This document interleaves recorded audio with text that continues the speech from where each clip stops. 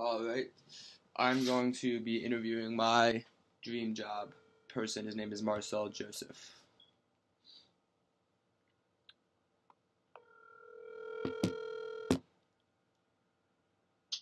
Hey, is Marcel. Hey, Marcel. Uh, how are you? This is Jordan Weller from. Hey, Uh, Jordan, how you doing? I'm doing well. Uh, I just wanted to thank you for taking uh, 20 minutes to talk to me today about uh, about your path to uh, where you are today um, with Warner Music. Um, so pretty much just a little debriefing about what this project is. Um, I'm in an entrepreneurship class. Uh, it's part for part of my major um, for for uh, the business school here at Syracuse, and uh, so we're engaging in a semester long project. It's called Triple Me, and pretty much the whole idea of the project is to look back on um, your past and look back on like your childhood years and you know just kind of how your traits and characteristics were developed. You- I was supposed to interview um, you know my siblings, my parents, grandparents who kind of watched me grow up. And then we move on into stage two, which is kind of like where you are today and how you're applying these skills and traits and characteristics to your everyday life and uh, to kind of moving on to part three which is where you want to go and uh, how you're gonna create that path for you as um, you know you move into post college and you start your career and all of that so the first question i have for you is um, what were you like as a student in high school and in college and did you know that you were interested in the music business during those years of your life? Yeah, so I would say um, I was a pretty good student. Um, you know, it was like top ten percent of my class when I was in, in high school. Definitely. Um, you know, took AP classes and things of that nature. Was in an honors program, and um, that was high school. Yeah. Uh, so, uh, you know, I guess in college, I, you know, I went to Columbia undergrad. Uh-huh. Um, I probably laid back a little bit on terms of my academic achievement. I was less concerned about, you know, getting the highest grades, if you will. Yeah. Um, know, did did perform well enough, and then also was just kind of focused on having a well-rounded experience of being in New York City Yeah, and making sure I was taking advantage of all the opportunities that that gave me. Um, so, uh, think to answer your next question, um, I mean, the, I, the other difference, I guess, is in high school, I was more active, I would say, in, in you know, clubs and Yeah, absolutely. organizations. Um, in college, I was less of that was because I started interning pretty early or working pretty early Right. and, and kind of focused on um, getting to the next step in my career. Definitely. Um, and then the, to answer your question about uh, music, did I know that I want to work in the music industry? No. Um, uh, it's not even something I had really even considered. Yeah. Um, I kind of landed in it, if you will Definitely. um, after my senior year, kind of making that decision. I think prior to that, I mean, I, I always loved music. I, you know, created music. I was into production. Mhm. Um, I sang when I was a kid. I Yeah, played sure. instruments, you know, sparingly here and there. Right. You know, rapped. I did, you know, all different types of things associated with music. So the passion was clearly there.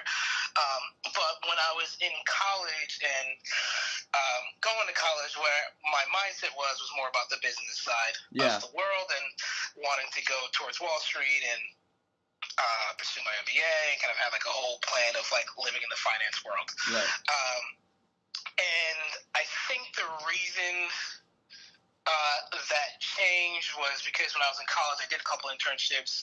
One was in the film industry. Mhm. Um, you know, I did another one that was with the NBPA, which is the union for the NBA players. Yeah. Um, and you know, these are kind of happenstance. It wasn't like I was like specifically looking for these opportunities. Yeah. Um, it was more like, well, I'm looking for internships, and hey, these look like cool environments. Let me just try it. Right. Uh, and uh, it was, but the thing that was, you know, consistent or the the theme was these were all in the entertainment area. Right. Um, Right. and uh, you know the the one area of entertainment where I had not uh, pursued but was most passionate about was music. For sure. And so, you know, eventually I just said, hey, there's obviously something in me that keeps bringing me to these entertainment fields. Um, back of my mind, I do the finance thing and go to Wall Street, but you know, I keep finding myself in entertainment. I've never tried music. Let me just pursue it. For sure, definitely. So once you started getting involved in um, the music industry and the music business, um, was there a defining moment that kind of like switched in your head and you were like, you know what, this is where I want to be, or has that moment ha- not happened yet, or do you still not know like what your end goal is? Yeah, so I think um, I think prior to trying to um, enter the music industry, it was kind of like this is what I'm going to do. Mm-hmm. Um, I, I, I hit a crossroads where it was like either if I'm going to go, I mean, you know, as you know, prior to like your junior year, going into senior year, Right. uh, that that summer internship is pretty critical, right? Yeah, so, absolutely. um, so at that point, as I was uh, coming out of my, Guess it'd be my junior, yeah, my junior year, uh, second semester, it was really the the point where I had to say, hey, am I gonna choose music or am I gonna go down the finance route? Um, If I'm going down the finance route, it's critical for me to get an internship over the summer. Yeah, Um, uh, if I'm going to go the music route, it's critical for me to get an internship over the summer Right. again to start networking and absolutely. and you know, you know, build build uh, some footprints in the industry. Uh, and so at that point, I decided, hey, you know, this finance thing sounds cool, but I want to go for music. And Absolutely. I never looked back. Yeah. Uh, honestly, uh, so that was probably the, the most critical point. Um, I think the second thing that happened um, was, you know, my first internship was in the marketing department at Asylum Records. Okay. Um, but then my second internship was at WEA, where I still work now, in Mm. the digital department. And uh, to me, that was the perfect balance of business and music um, that I was really craving.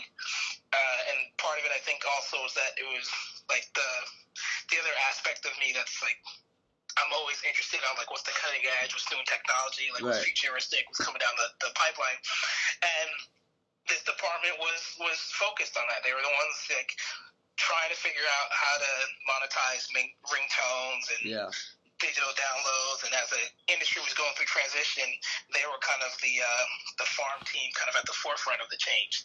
So Definitely. And that kind of leads me into the into my next question here, which is do you think that um, at all during your time in your journey to where you are today that you believe that persistence met luck at all? As in, did you ever feel like you see uh, that you know you got this digital you got this digital accounts um, internship and like you were saying that it, it was just exactly what we were looking for. Do you think that that was at all luck, or do you think that was persistence with your last internship with Warner in the marketing department? yeah, I think it's both. I think it's both. I mean, uh, there's there's always a little bit of luck involved, right? Yeah, of um, you know, timing is everything. Yeah, Um, and you know, sometimes you, you want to do something, but the timing isn't right, and, and unfortunately, that that uh, you know things won't work out. yeah, for you. But uh, I I firmly believe that uh, you know luck does exist to some degree, Mhm. but it's also about preparation um, and persistence, and then finding the right timing. Absolutely. So, uh, yeah, so I would say multiple times throughout my career that's been been the case. Um, so whether it was you know the fact that I had you know kind of had a conversation with my HR kind of college. Uh, you know, administrator, Right. recruiter, and let them know at one point I was like, yeah, you know, I like the label environment. It's kind of cool, meeting a lot of people, but you know, I wanted to understand how they're fighting piracy because I just see people rampantly, you know, Right. you know, Yeah, definitely. downloading stuff illegally. Definitely, definitely. And, you know, because I was proactive and had that conversation, she was like, hey, well, there's this group. Uh, I'm not 100% sure what they do, but I know where they are. You can, inter- you know, have an informational interview over there and see what's happening. So sure. I did that.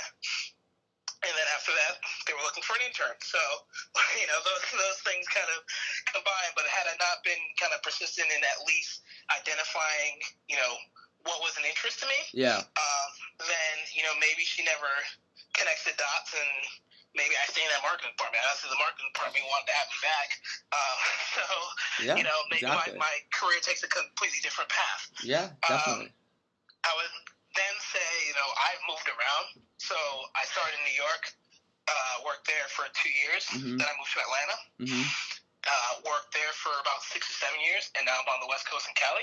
And I've been here for about uh, about two and a half years. Sure. Uh, and with each of these moves, um, it hasn't been the company coming to me to say, "Hey, Marcel, will you take this new opportunity?" It's been me kind of telling them, "Hey, here, here's where my life is going." Uh huh. Um, and you know, I I am obviously dedicated to the company. Um, I feel like I can perform my job uh, in another location. So you know, please don't fire me. Yeah, of course. How that chat goes, right? Um, and I think in each of those opportunities, uh, it's been well received.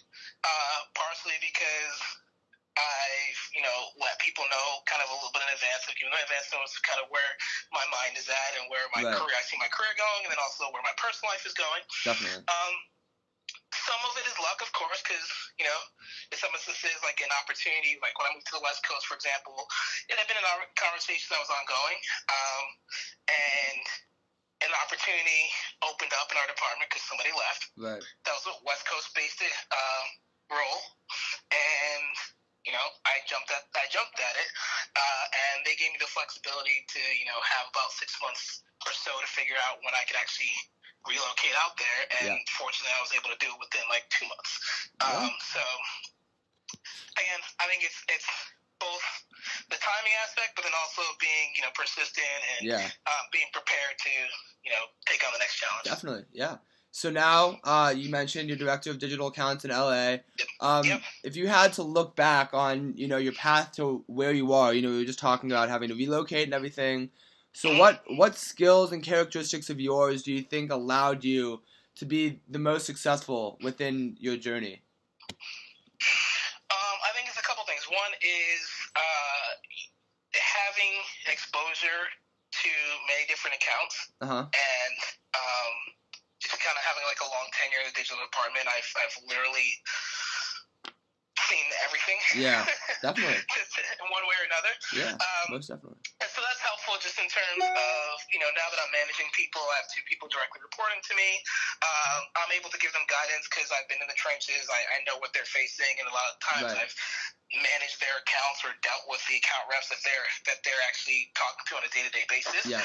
Um, so I can give them advice and you know help them come up with the uh, you know the most efficient or their you know the best path to um, you know resolving some of their issues. Uh huh.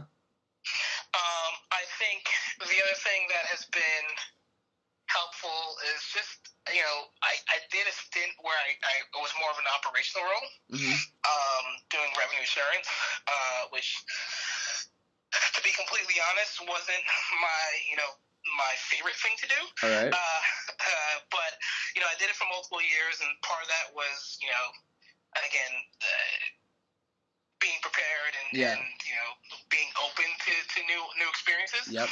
Um, and so uh, one of the things that happened during that time was I was managing mobile accounts in Atlanta.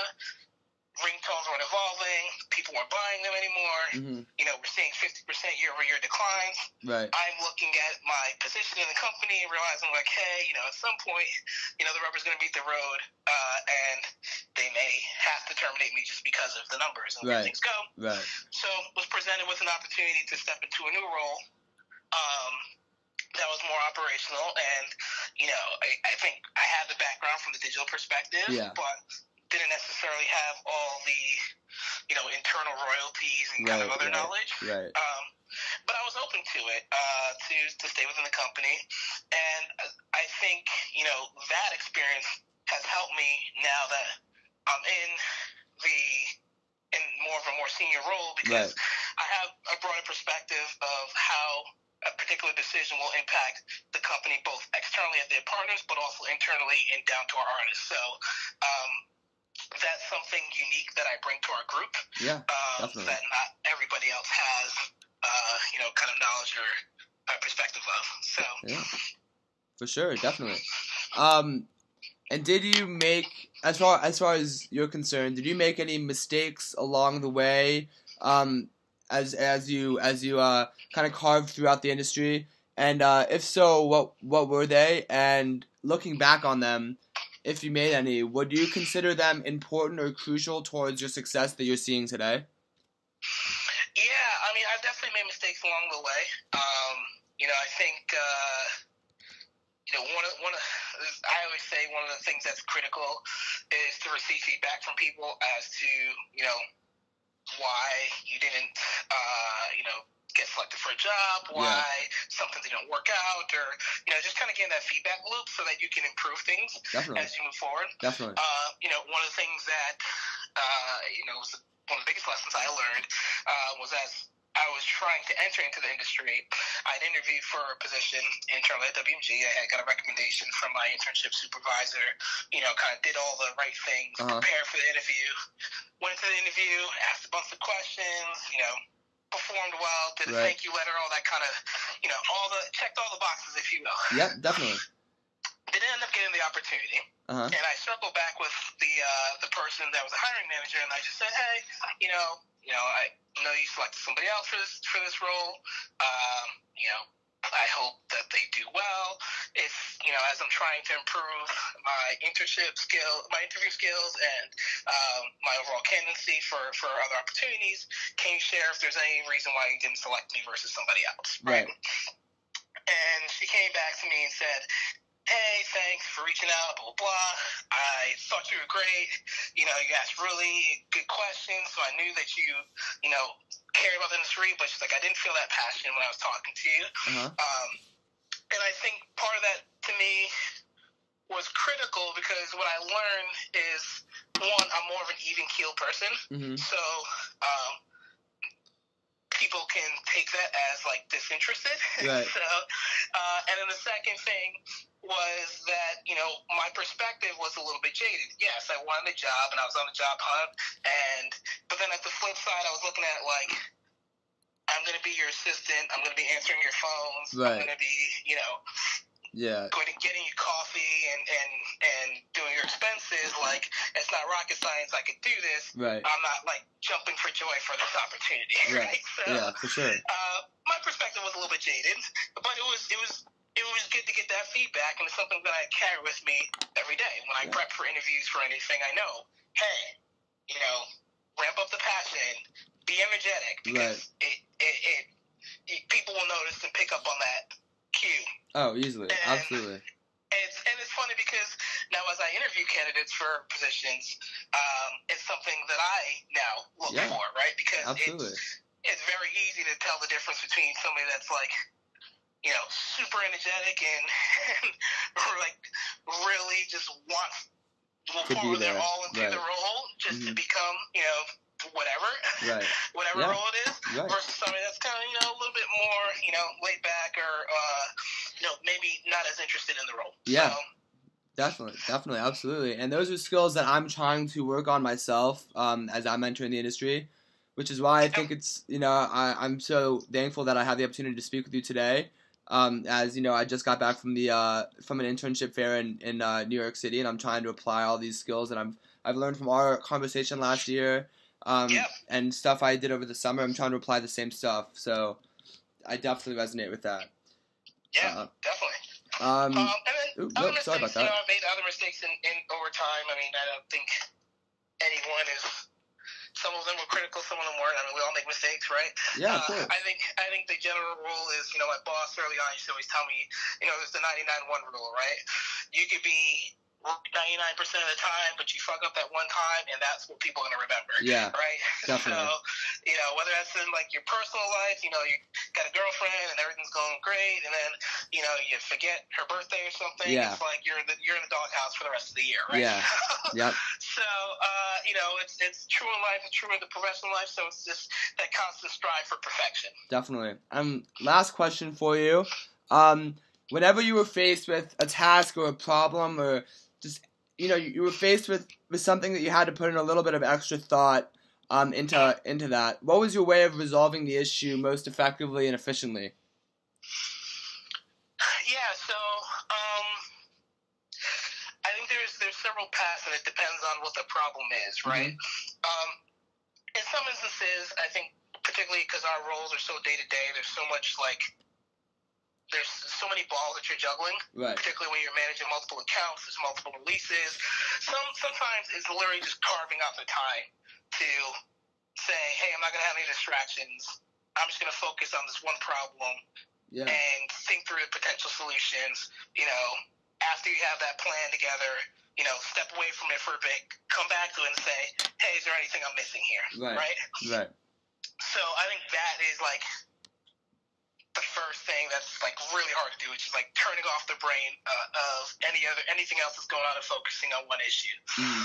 Um, the other thing is getting additional perspective, right? So, uh, you know, we all don't know everything. Uh-huh. Um, there's other people that have either in, encountered things um, previously, and if not the same exact problem, just may have a point of view on how things could be done better. Right.